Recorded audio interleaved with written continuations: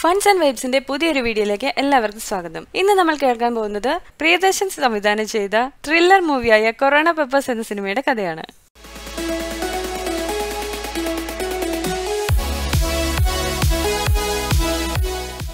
സിനിമയുടെ തുടക്കത്തിൽ ഒരു കർഷകൻ ഒരു വെടിശബ്ദം കേട്ട് ഞെട്ടുന്നതാണ് കാണിക്കുന്നത്. ഇത് കഴിയുമ്പോൾ കാണിക്കുന്നത് ഒരു സ്ത്രീ മെഴുകുതിരി കത്തിച്ച് പ്രാർത്ഥിക്കുന്നതും ആ വീട്ടിൽ നിന്നും പ്രായമായ ഒരാൾ ജോഗിങ്ങിനായി പോകുന്നതും. തൊട്ടടുത്ത സീനിൽ ജോഗിങ്ങിന് പോയ ആൾ കൊല്ലപ്പെടുന്നു. പിന്നീട് കാണിക്കുന്നത് പോലീസ് സ്റ്റേഷനാണ്. അവിടെ സി ഐയും എസ് ഐയും ഈ കൊലപാതകത്തെക്കുറിച്ച് സംസാരിച്ചുകൊണ്ടിരിക്കുന്നു. ഇപ്പോൾ ഒരച്ഛനും മകനും കാർ നഷ്ടപ്പെട്ടതിനെക്കുറിച്ച് കംപ്ലൈന്റ് ചെയ്യാൻ അങ്ങോട്ടേക്ക് എത്തുന്നു. എസ് ഐ ഉടനെ അവരുടെ അടുത്തേക്ക് പോകുന്നു. ഇത് കേട്ട ഉടനെ തന്നെ സി ഐ മറ്റാരോടോ ഫോണിൽ സംസാരിക്കുകയും ഇവരെ കുറ്റക്കാരാക്കാം എന്ന് തീരുമാനിക്കുകയും ചെയ്യുന്നു. എന്നാൽ സി ഐ ഈ അച്ഛനെയും മകനെയും കുറ്റക്കാർ ആക്കാൻ ശ്രമിക്കുന്നതായി എസ് ഐക്ക് തോന്നുകയും അയാൾ അതിന് തടസ്സം പറയുകയും ചെയ്യുന്നുണ്ട്. പിന്നീട് അവരെ നിർബന്ധിച്ച് സി ഐയും കൂട്ടരും അവർ തന്നെയാണ് കുറ്റക്കാരെന്ന് സമ്മതിപ്പിക്കുന്നു. ഇതേ തുടർന്ന് അവരെ റിമാൻഡിലാക്കുകയും ചെയ്യുന്നു. എന്നാൽ എസ് ഐക്ക് ഇതിനോട് തീരെ യോജിപ്പുണ്ടായിരുന്നില്ല. ഇവരെയും കൊണ്ട് ജയിലിലേക്ക് പോകുമ്പോൾ കമ്മീഷണർ പറഞ്ഞ പ്രകാരം കുറ്റക്കാരനാക്കപ്പെട്ട മുസ്തഫയെയും അയാളുടെ അച്ഛനെയും തെളിവെടുപ്പിനായി മറ്റൊരു വണ്ടിയിൽ അയക്കാൻ എസ് ഐയോട് ആവശ്യപ്പെടുന്നു. എന്നാൽ എന്തോ ഒരു പന്തികേട് തോന്നിയ എസ് ഐ അവരോടൊപ്പം പോകുന്നു. പക്ഷേ അവിടെ വെച്ച് സംഭവിച്ചത് വളരെ വിചിത്രമായ കാര്യങ്ങളായിരുന്നു. എ സി പി സി വർഗീസിന്റെ ഭർത്തൃപിതാവായിരുന്നു മരിച്ചയാൾ. അതുകൊണ്ട് തന്നെ ഈ കേസ് അന്വേഷിക്കുന്ന A C P Gracy Varghese മുസ്തഫയോട് കുറ്റം സമ്മതിപ്പിക്കാൻ ആവശ്യപ്പെടുന്നു. എന്നാൽ ചെയ്യാത്ത തെറ്റ് സമ്മതിക്കില്ലെന്ന് അയാൾ പറയുകയും ചെയ്യുന്നു. ഇതേ തുടർന്ന് അവിടെ വെച്ച് മുസ്തഫയുടെ പിതാവിനെ A C P Gracy Varghese S ഐയുടെ തോക്കെടുത്ത് നിർദാക്ഷിണ്യം കൊല്ലുന്നു. എസ് ഐ ഇതിനെ തടയാൻ ശ്രമിച്ചെങ്കിലും സാധിക്കുന്നില്ല.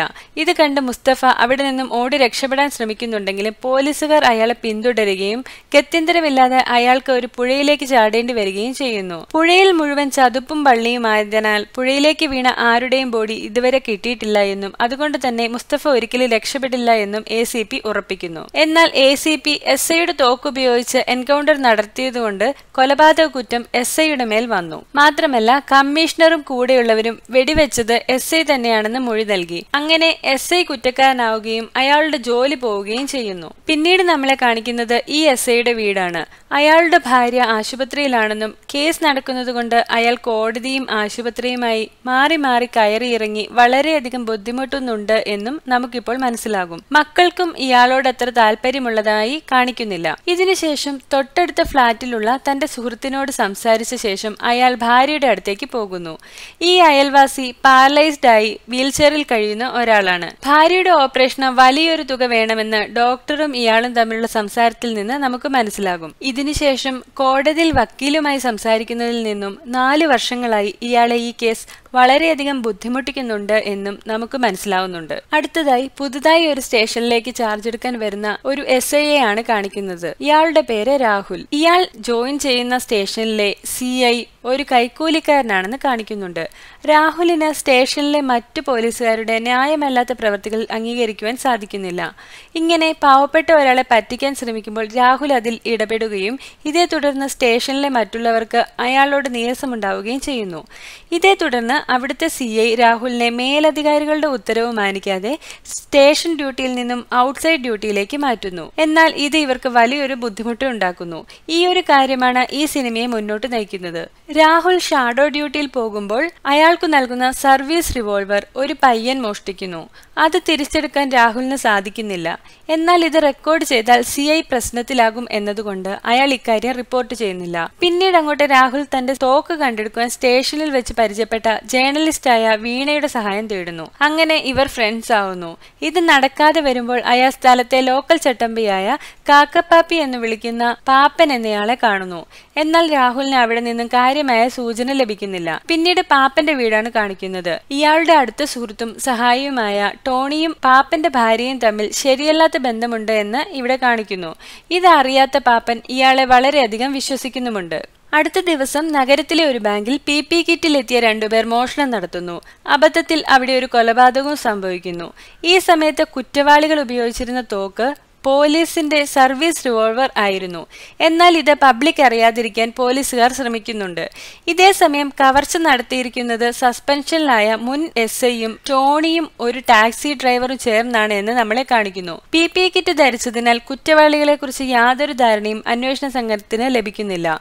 ഇതേസമയം തന്റെ ജോലി നിലനിർത്താൻ ഒരു ബ്രേക്കിംഗ് ന്യൂസ് കൊടുക്കാൻ നിർബന്ധിതയായ വീണ രാഹുൽ തന്നോട് വിശ്വസിച്ച് പറഞ്ഞ റിവോൾവറിന്റെ കാര്യം പബ്ലിഷ് ചെയ്യുന്നു. ഇതേ തുടർന്ന് രാഹുലും സിയയും സസ്പെൻഷനിലാകുന്നു. അതുകൊണ്ട് തന്നെ രാഹുൽ വീണയുമായി പിണങ്ങുന്നു. ഉന്നത തലത്തിൽ നിന്നുള്ള സമ്മർദ്ദം മൂലം കേസ് അന്വേഷണം പഴയ എ സി പി ആയിരുന്ന ഗ്രേസി വർഗീസിനെ ഏൽപ്പിക്കുന്നു. ഇതറിഞ്ഞ് മുൻ എസ് ഐയും കൂട്ടരും അതായത് മോഷ്ടാക്കൾ ഭയപ്പെടുന്നു. അങ്ങനെ അവർ മോഷ്ടിച്ച പണം ആളൊഴിഞ്ഞ ഒരു കെട്ടിടത്തിൽ ഒളിപ്പിച്ചു വെക്കുന്നു പോലീസുകാരുടെ നീക്കങ്ങൾ മനസ്സിലാക്കാൻ കഴിവുള്ളത് കൊണ്ട് തന്നെ പണം ഉപയോഗിക്കുവാൻ ഈ എസ് ഐ കൂട്ടാളികളെ സമ്മതിക്കുന്നില്ല. ഗ്രേസി വർഗീസ് ഇതേ സമയം രാഹുലിനെ കൂട്ടി അയാൾ പോയ വഴിക്ക് അന്വേഷണം തുടങ്ങുന്നു. മോഷ്ടിച്ച പണം ഉപയോഗിക്കാത്തതുകൊണ്ട് തന്നെ പോലീസുകാർക്ക് കുറ്റവാളികളെ കുറിച്ച് ഒന്നും തന്നെ കണ്ടെത്താൻ സാധിക്കുന്നില്ല. ഇതേസമയം ആശുപത്രിയിൽ വെച്ച് പഴയ കേസിനെ കുറിച്ച് സംസാരിക്കാൻ A C P Gracy Varghese S ഐയെ കാണുന്നു. എന്നാൽ ഇതേ സമയം എസ് ഐ തിരികെ ചോദിക്കുന്നത് ഫാദർ ഇൻ ലോയെ കൊന്നത് എ സി പി തന്നെയല്ലേ എന്നാണ്. ഈ എസ് ഐ ഇക്കാര്യം അവരോട് തെളിവ് സഹിതം പറയുകയും ചെയ്യുന്നു. ഇതേസമയം ഗ്രേസി വർഗീസ് അയാളോട് കുറ്റസമ്മതം നടത്തുകയും കാര്യകാരണങ്ങൾ വ്യക്തമായി പറയുകയും ചെയ്യുന്നുണ്ട്. ഇയാൾ തന്നോടും തന്റെ മകളോടും മോശമായ രീതിയിലാണ് പെരുമാറിയിരുന്നതെന്നും അതിനാലാണ് അയാളെ കൊല്ലേണ്ടി വന്നതെന്നുമാണ് ഗ്രേസി എസ് ഐയോട് പറയുന്നത്. യാതൊരു മനസാക്ഷിയുമില്ലാത്ത ഒരു ക്യാരക്ടറാണ് എ സി പി ഗ്രേസി വർഗീസിന്റേതെന്ന് നമുക്ക് വ്യക്തമാകും.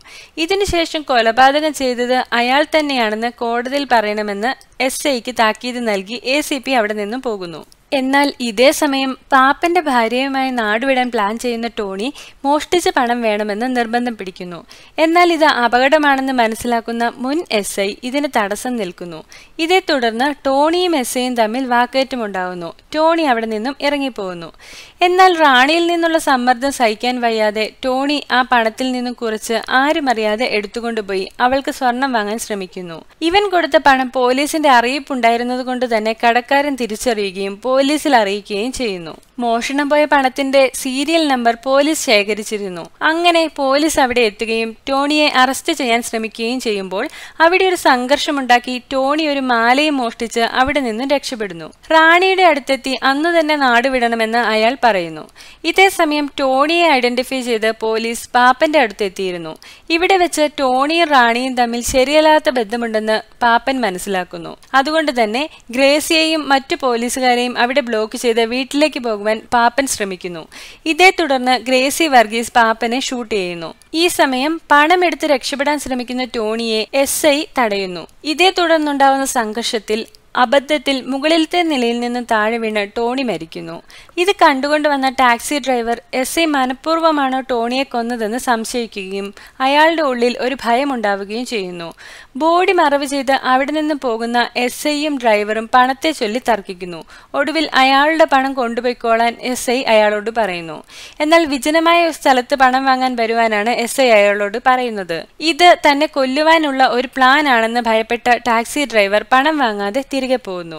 ഇതേസമയം ടോണിയുടെ ഫോണിൽ നിന്ന് ലഭിച്ച വിവരങ്ങൾ വെച്ച് പോലീസുകാർ ടാക്സി ഡ്രൈവറിലേക്ക് എത്തിച്ചേർന്നിരുന്നു. ഇയാൾക്ക് കൂടെയുള്ള ആളുകളെക്കുറിച്ച് കൂടുതലൊന്നും അറിയില്ലെന്ന് മനസ്സിലാക്കുന്ന പോലീസുകാർ ഇയാളെ ഉപയോഗിച്ച് മൂന്നാമനെ കണ്ടെത്താൻ പ്ലാൻ ഇടുന്നു. മൂന്നാമന്റെ പേര് ഗോവിന്ദേട്ടൻ എന്ന് മാത്രമാണ് ഇയാൾക്ക് അറിയാവായിരുന്നത് പബ്ലിക് ലാൻഡ് ലൈൻ നമ്പറുകളിൽ നിന്നാണ് എസ് ഐ ബുദ്ധിപൂർവം കോണ്ടാക്ട് ചെയ്തിരുന്നത്. അതുകൊണ്ട് തന്നെ ഒരേ ഒരു മൊബൈൽ നമ്പർ മാത്രമാണ് ഇയാളെക്കുറിച്ച് പോലീസുകാർക്ക് ലഭിച്ച സൂചന. അവരുടെ അന്വേഷണത്തിൽ ഇത് ഉപയോഗിച്ചിരുന്ന ആളെ കണ്ടെത്തുന്നു. എസ് ഐയുടെ അയൽപക്കക്കാരനായ ആ സുഹൃത്തായിരുന്നു ഇയാൾ. എസ് ഐ ബുദ്ധിപൂർവം ഇയാളുടെ ഐഡന്റിറ്റി ഉപയോഗിച്ചെടുത്ത നമ്പറായിരുന്നു അത്. ഇയാൾ ഒരു പാരലൈസ്ഡ് ആയിട്ടുള്ള ആളായതുകൊണ്ട് തന്നെ പോലീസുകാർക്ക് കുറ്റക്കാരൻ മറ്റൊരാളാണെന്ന് വ്യക്തമാകുന്നു. ഇതേസമയം പോലീസുകാർ ഫ്ളാറ്റിലുണ്ടെന്ന് പാൽക്കാരിൽ നിന്ന് മനസ്സിലാക്കുന്ന എസ് ഐ അയാൾ ഉപയോഗിച്ച സിം കാർഡും മൊബൈലും ഉടൻ തന്നെ നശിപ്പിക്കുന്നു. ഡ്രൈവറെ ഉപയോഗിച്ച് മൂന്നാമനെ കണ്ടെത്താൻ പോലീസുകാർ തീരുമാനിക്കുന്നു. എന്നാൽ ഇത് മനസ്സിലാക്കിയ എസ് വളരെ വിദഗ്ധമായി ഈ ഡ്രൈവറെ കൊല്ലുന്നു. തോന്നുന്നു എന്നാൽ ഇയാൾ ഒരു ക്രിമിനൽ അല്ലാത്തതിനാൽ പോലീസിന്റെ ഫിംഗർ പ്രിന്റ് ഡേറ്റാബേസിൽ നിന്ന് യാതൊരു തെളിവും അന്വേഷണ സംഘത്തിന് ലഭിക്കുന്നില്ല. പിന്നീട് യാദൃശ്ചികമായി രാഹുൽ ഈ എസ് ഐയുമായി കണ്ടുമുട്ടുന്നു. ഇവിടെ വെച്ച് എസ് ഐക്ക് തലചുറ്റലുണ്ടാവുകയും രാഹുൽ ഇയാളെ ആശുപത്രിയിൽ കൊണ്ടുപോവുകയും ചെയ്യുന്നു. ഇതിനുശേഷം നല്ലൊരു സുഹൃത്ത് ബന്ധത്തിലാവുന്ന ഇവർ പരസ്പരം തങ്ങളുടെ കഥകൾ ഷെയർ ചെയ്യുന്നു. തന്റെ പേര് ശങ്കർരാമൻ എന്നാണെന്നും താൻ ചെയ്യാത്ത എൻകൗണ്ടറിന്റെ പേരിൽ ജോലി പോയെന്നും ഇതേ തുടർന്ന് മക്കളും കുടുംബവും അകറ്റി നിർത്തിയെന്നും ഇതിനെല്ലാം കാരണം അപ്പോൾ ഉണ്ടായിരുന്ന എ സി പി ആണെന്നും രാഹുലിനോട് എസ് ഐ പറയുന്നു. ഇവിടെ വെച്ച് ശങ്കർ രാമൻ രാഹുലിനോട് പറയുന്ന ചില കാര്യങ്ങൾ രാഹുലിന് ജേർണലിസ്റ്റിനോടുള്ള ദേഷ്യത്തിൽ മാറ്റം വരുത്തുന്നതിന് കാരണമാകുന്നു. അങ്ങനെ അവൻ അവളെ വിളിച്ച് വീണ്ടും സംസാരിക്കുകയും ചെയ്യുന്നു. ഈ സമയത്ത് അവൾ പറയുന്ന ഒരു ചായക്കടയുടെ പേര് രാഹുലിന് ഒരു ലീഡ് നൽകുന്നു. അങ്ങനെ അവിടെ എത്തി ചായ കൊടുക്കുന്ന ഒരു പയ്യനിൽ നിന്നും ചില സൂചനകൾ രാഹുലിന് ലഭിക്കുന്നു.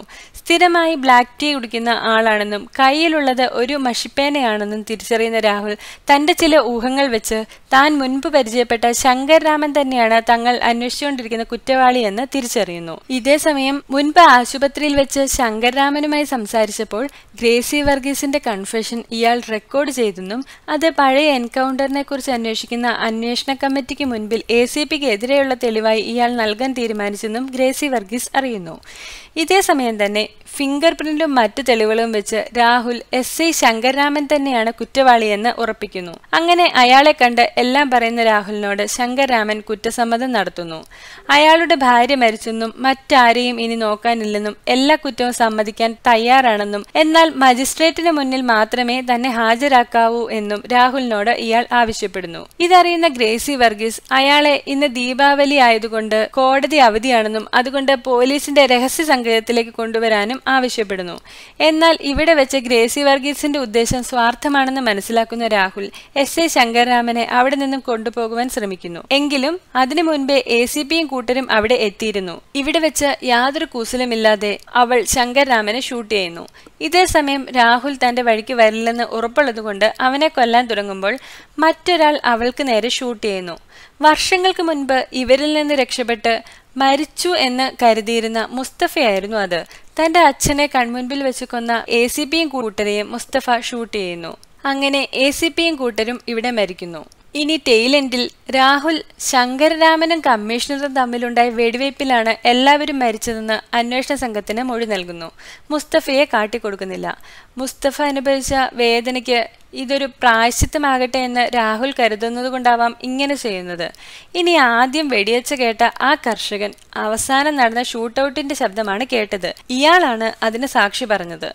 ഒരു കർഷകൻ ഷൂട്ടൌട്ടിന്റെ സമയത്ത് ഏഴെട്ട് വെടിശബ്ദം കേട്ടു എന്ന് പറയുന്നുണ്ടല്ലോ എന്ന് രാഹുലിനോട് അന്വേഷണ സംഘം ചോദിക്കുമ്പോൾ ദീപാവലി അല്ലേ സാർ? പടക്കം പൊട്ടിയതാകുമെന്ന് രാഹുൽ പറയുന്നുണ്ട്. ഷൂട്ടൌട്ട് നടന്ന സ്ഥലത്ത് നിന്നും ഓടി രക്ഷപ്പെടുന്നതിനിടയിൽ ആക്സിഡന്റ് പറ്റിയ മുസ്തഫയെ ഹോസ്പിറ്റലിൽ പോയി രാഹുൽ കാണുമ്പോൾ നമുക്കറിയാവുന്നതെല്ലാം നമ്മുടെ ഉള്ളിൽ തന്നെ ഇരിക്കട്ടെ എന്ന് പറയുന്നിടത്ത് കഥ അവസാനിക്കുന്നു.